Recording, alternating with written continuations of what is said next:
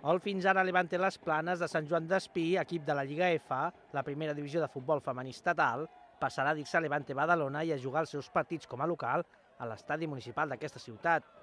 Així es visibilitzarà demà a la tarda amb una presentació que es farà a les 7 a l'estadi badaloní. A la Federació Catalana de Futbol, el nou Levante Badalona ja apareix registrat amb aquest nom. Val a dir, però, que el futbol base del club continuarà entrenant i jugant a Sant Joan d'Espí i que només és el primer equip trasllada a Badalona. D'aquesta manera, Badalona passa a tenir futbol femení de primer nivell i equips com el Barça d'Alexia Putelles, Aitana Bonmatí o com l'Atlético de Madrid o la Real Societat visitaran la ciutat de Badalona.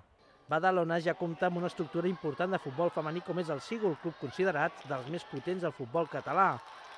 Ara totes dues entitats hauran de conviure també amb el Club de Futbol Badalona i els Badalona Dracs de futbol americà, ja que totes aquestes entitats han de compartir les instal·lacions tant l'estadi municipal com el camp adjacent de la terrassera de Montigalà.